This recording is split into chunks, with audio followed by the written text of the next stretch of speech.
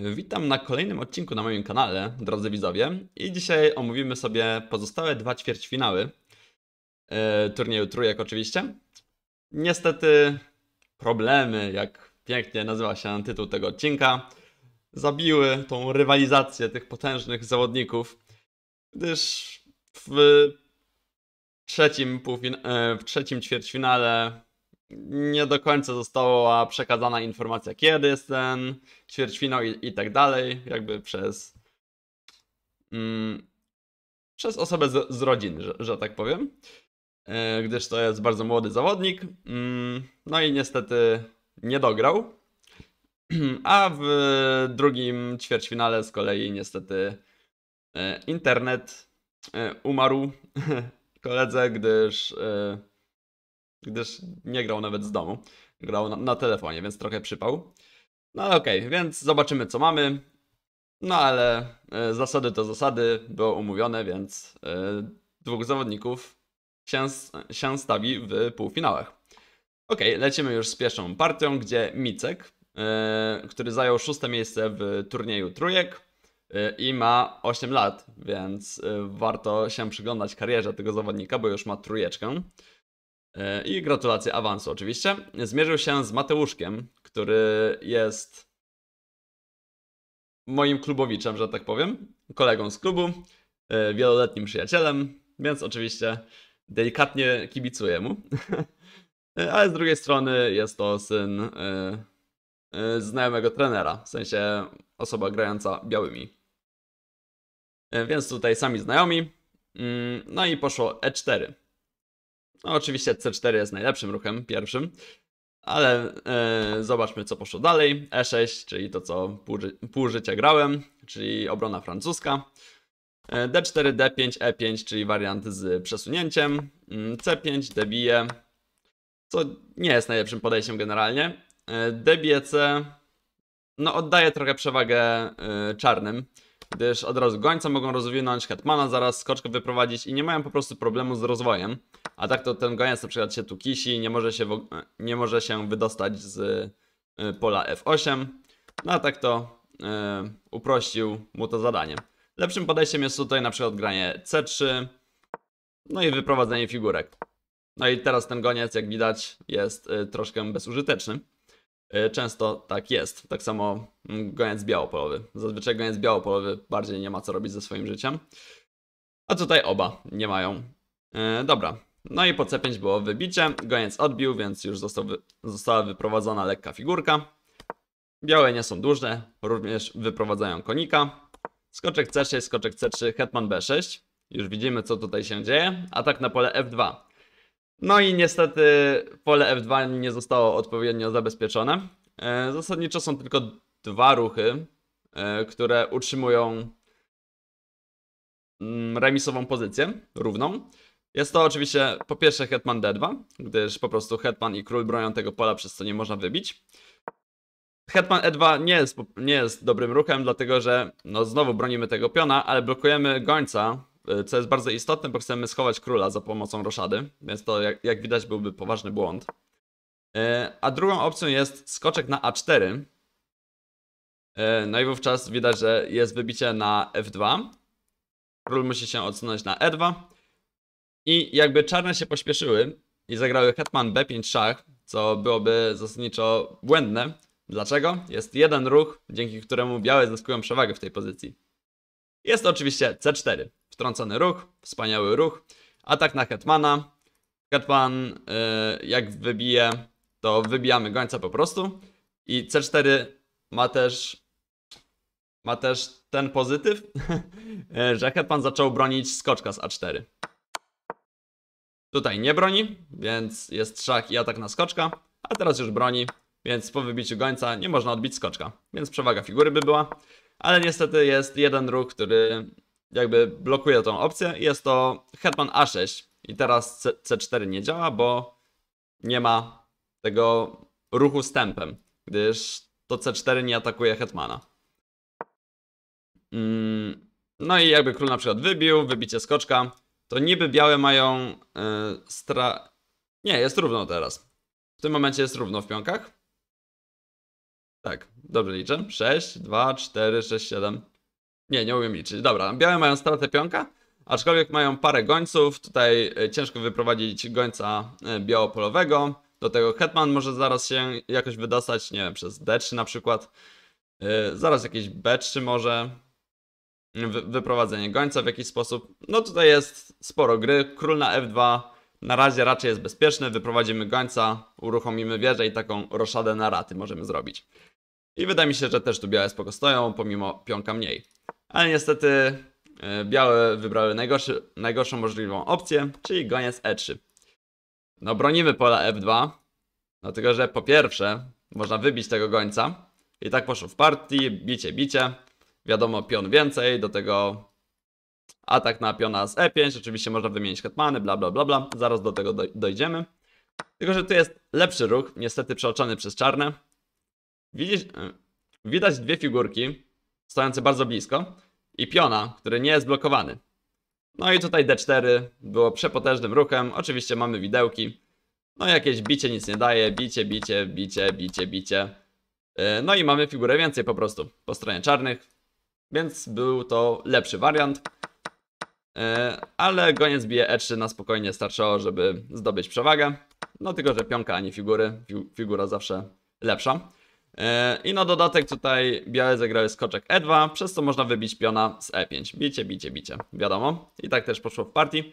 Tu lepszym podejściem było hetman E2, wymienić te hetmany, grać bez piona, e, ale... No ale pozycja jest jeszcze do gry. Wciąż Trzeba patrzeć na to, że y, goniec białopolowy nie jest wyprowadzony, zaraz jakaś roszada, atak po linii F. No tu jeszcze jest sporo gry, aczkolwiek oczywiście czarne mają przewagę. No plus ten pion będzie w przyszłości dość wkurzający. Dobra, poszło skoczek E2, bicie, bicie, bicie. I hetman D3, co troszkę wygląda jak mouse slip, tak zwany. E, no czyli, że się myszka omsknęła. Gdyż tutaj lepszym podejściem jest hetman D4, no bo oczywiście hetman patrzy się na piona z B2, więc warto go zablokować i nawet wymienić te hetmany po- pomimo y, dwóch pionków straty i jakoś walczyć bez hetmanów. Może coś się uda, tu jakimś cudem jakieś widełki mogą zawsze wejść, coś takiego. Jakieś jeszcze triki mogą tam być. Y, No a hetman D3 pozwala wziąć już trzeciego piona na stratę trzech pionów, to już bardzo dużo. Więc bicie, wieża D1, skoczek F6, no i tutaj realizacja przewagi na, stronę, na razie po stronie czarnych. No białe przypuszczają jakiś atak, który no raczej nie dojdzie do skutku, jednak daleko temu pionkowi do czegokolwiek. Po drugie hetman zabezpiecza pole G7, więc lecimy dalej, rozwijamy figurki. No i poszło C4, co jest kolejnym mini błędem, aczkolwiek no, czarne mają tu po prostu totalnie wygrane.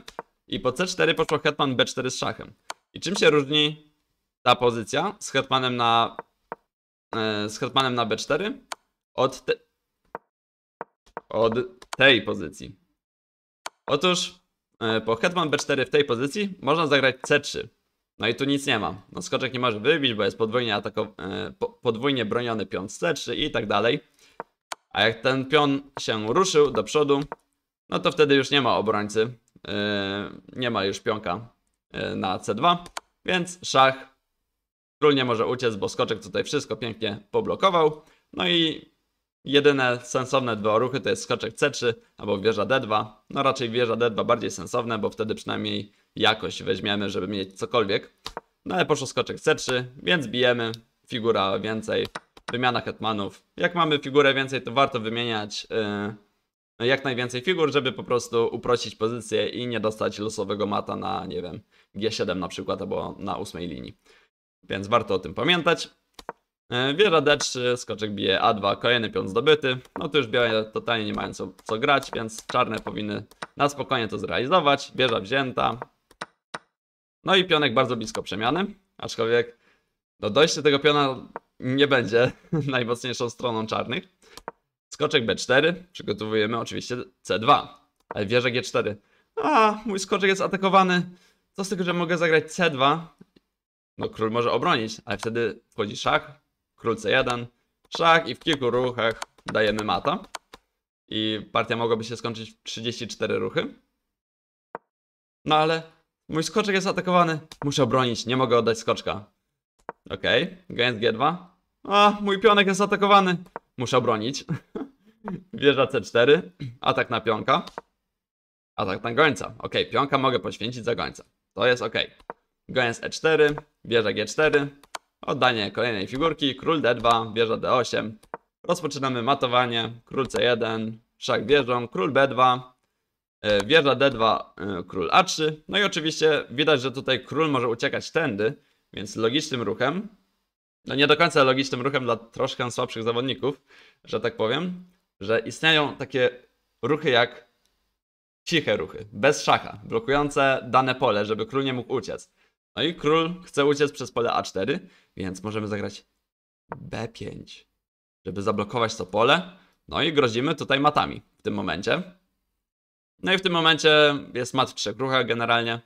Yy, Wieża C8 szach na przykład, król H7, król B3, szach wieżą, król C3, no i wieża D3 z matem. Skoczek ładnie broni, tu wszystkie pola są zasłonięte, więc bardzo ładny mat mógłby powstać. E, No ale e, Panika Gaming została jedna figurka. Trzeba ją wymienić. Wieża D3, związanie.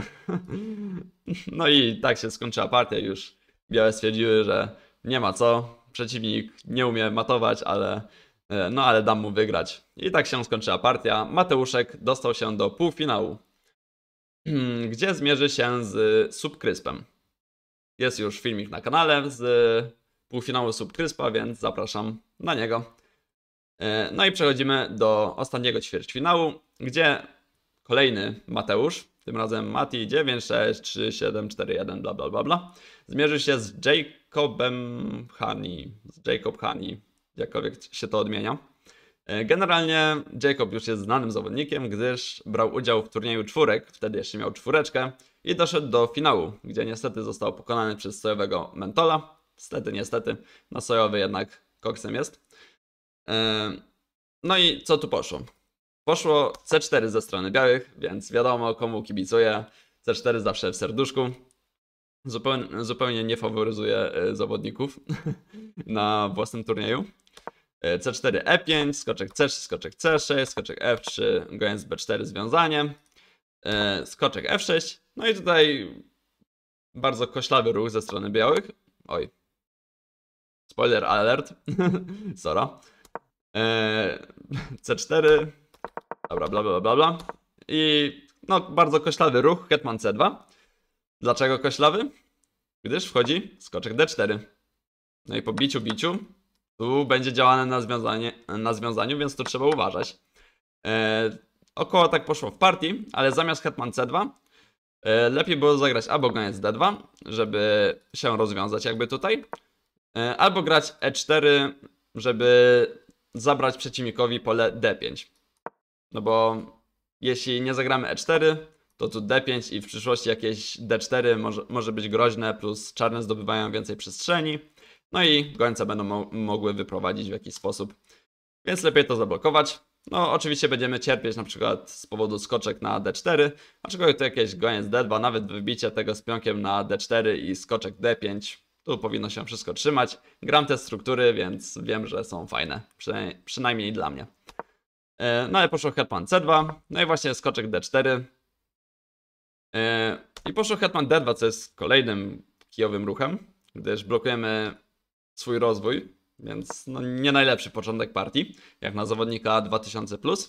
Co ciekawe, tu można wybić tego skoczka, gdyż po e bije d4, tutaj związanie, o nie, stracimy figurę, ale istnieje ruch a3. Z atakiem na gońca, oczywiście bicie, bicie nic nie daje, bicie, bicie, nawet rozwinęliśmy sobie figurki, plus półtora dostajemy. E, No więc musimy uciec gońcem, jak w tą stronę to oczywiście gonimy dalej, więc goniec się wraca gdzieś tam. No i wtedy e, wskakujemy skoczkiem na D5, na przykład bicie, bicie, C5, żeby czarne więcej przestrzeni zdobyły. No i en passant, czyli bicie w przelocie, czyli taki bóg szachowy. E, No i debije C6. Pozycja do gry, minimalna przewaga czarnych, ale spoko. Roszada e, zaraz przez G3, goniec G2, roszada też będzie spoko. Ale poszło hetman D2, więc na razie tak średnio bym powiedział. E, No ale tutaj delikatnie się czarne odwdzięczyły, gdyż wybiły na F3, e, GB F3. No i jak widać termometr bardziej się zrównał. Z jakiego powodu? Gdyż zo- została otwarta linia G, no i zaraz wieża wkroczy, Szczególnie jak tu jeszcze roszada będzie, to już w ogóle czarne mogą zacząć mieć problem. E, Tutaj według mnie lepszym podejściem e, był ruch D6. Taki spokojny, e, poprawienie struktury pionowej. Planujemy wyprowadzić gońca. No bicie, bić nie można, bo oczywiście odbijamy i no tu już nie działa ruch A3, bo bijemy pionkiem i hetman ma przypał. Chyba, że istnieje jakiś ruch hetman G5. Acz- Aczkolwiek raczej nie, no to coś takiego by powstało około. Więc spoko. Dla czarnych, jak widać, minus 7. Aż. No, co w tej pozycji pokazuje komputer, to takie bardziej mm, wysublimowane ruchy. Ciekawe, czy to jest dobre słowo. No nieważne. Albo roszada, co jakby jest logicznym ruchem, tylko że tu pion podwisa i, i po prostu wjeżdża na wolną linię i w jakiś sposób atakujemy króla w, przy, w przyszłości, ale na niższym poziomie wydaje mi się, że to jest raczej średni pomysł, żeby oddawać piona. No a drugą opcją e, zamiast roszady jest D5 niby. No tylko też bym się martwił o piona osobiście. E, no ale spoko, poszło bicie na F3, bicie i roszada. Więc otworzyliśmy przeciwnikowi linię, żeby dać mu się atakować. Big smart. Eee, roszada, wieża G1. Oczywiście biały korzysta na tym. Goniec bije C3, hetman bije C3, D6, B3. E, tutaj jest typowy motyw z goniec H6 oczywiście. E, gdyż no tutaj wieża atakuje, chcemy wybić piona, tu jak pionek się przesunie, no to bijemy wieżę, bla bla bla bla. Tylko, że tym razem to nie działa, bo istnieje ruch skoczek H5 e, z obroną i tu nic nie ma po prostu. E, To, co ja bym grał w tej pozycji, myślę, że grałbym goniec G5, gdyż no, totalnie blokujemy rozwój przeciwnika. Jest tutaj związania, e, no i Hetman nie może się odsunąć, no bo oh no my knight i w ogóle cała moja pozycja się sypie. E, Odgonić też nie możemy, bo wtedy tu bijemy. No generalnie ten goniec, no nie, nie da się go ruszyć. Nie wiem, co trzeba by było zrobić, żeby móc ruszyć swoje figury jakieś, nie wiem, hetman E7, hetman E6 i dopiero wtedy jakoś skoczka ruszyć. No nie wiem, dla mnie to jest dramat pozycji dla, dla czarnych. E, więc ja bym grał goniec G5, ale tutaj zdecy- zdecydowały się białe na ruch B3, żeby po długiej diagonali A1, H8 działać. E, Poszło wieża E8, goniec B2, goniec F5, F4. Mm, Otwieramy pozycję, oczywiście wybi- wybicie nie wchodzi w grę, no bo bijemy skoczka. Bicie, bicie, no i mamy figurę więcej, bo tu oczywiście związanie działa. E, Więc poszło C6, F bije, D bije, długa roszada. Jest tu taki motyw, niby jest, e, z wieża G5. Bo możecie sobie pomyśleć, że atakujemy gońca, no i jak się goniec odsunie, no to bijemy piona. Pion więcej, profit. No tylko, że tutaj jest G6. E, teraz powiecie, no ale czekaj, jest przecież E4 i goniec i tak musi się odsunąć i zdobywamy piona. No i tutaj jest dziki ruch ze strony czarnych, polegający na skoczek G4. I nasza wieża ripła właśnie w tym momencie. Nie może się nigdzie ruszyć. A jest atakowana przez Hetmana. No dobra, jeszcze obronimy tą wieżę. E, Ale w tym momencie po prostu H6 i nasza wieża umarła. Więc to byłby e, ciekawy wariancik. Ale na spokojnie roszada, tutaj dalej atakujemy przeciwnika, więc jest spoko. Poszło hetman B6, no i teraz poszło wieża G5. Niestety za późno, szczególnie, że podwaliliśmy piona. E, No po hetman B6 widzimy, że hetman próbuje się rozegrać, atakuje nam piona. No to wypad, nie chcemy cię tu, C5. Jest oczywiście broniony przez hetmana, więc hetman by się musiał wrócić, więc to byłby świetny ruch. Ale poszło wieża G5 i się wszystko obróciło, teraz to czarne mają minimalną przewagę, minus 1. No i poszło hetman bije F2. Wieża się cofnęła, blokując swojego gońca, no ale tu no ciężko znaleźć jakieś mądrzejsze ruchy. Hetman E3 z szachem, król B1, wieża AD8. No czarne logicznie wprowadzają swoje e, nieaktywne figury do, do gry. Przez środek, przez centrum atakują. Król A1, żeby zejść z jakichś związań.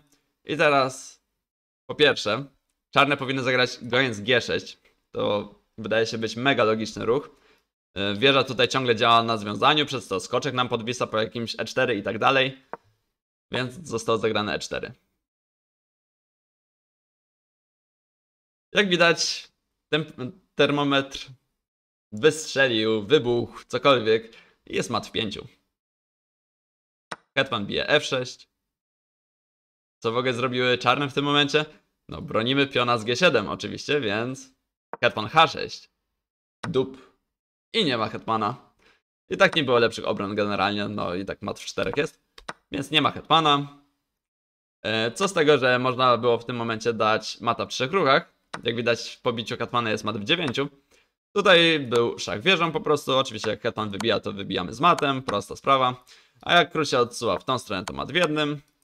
A jak w drugą, to poświęcamy wieżę. Po co nam wieża? Podwójny szach. Król odbija. No i mat na H8. Goniec oczywiście broni. Więc można było ładnego mata wsadzić. No ale widzę bije. Hetman bije H6 i tak mamy totalnie wygraną. E, E bije D. No i mat hetmanem. E, Tutaj jest jedna opcja, żeby ten mat w 9 był, e, a nie w jednym ruchu. Jest to typowo komputerowy ruch, znany w polskim świecie szachowym, czyli król F8. No i tutaj jest cały wariant, który trochę trzeba policzyć, więc pierwsza linia komputera po prostu polecimy.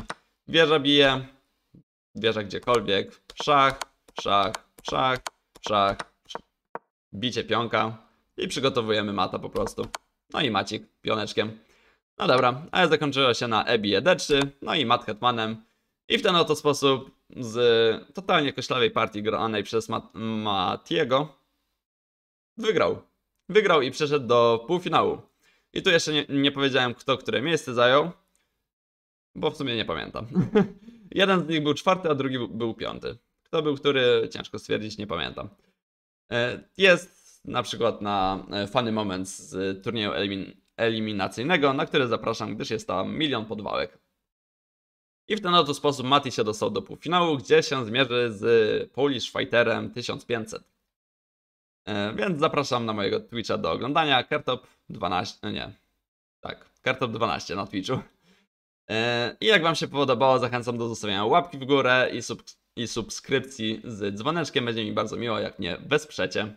Do zobaczenia w następnych odcinkach. Bye!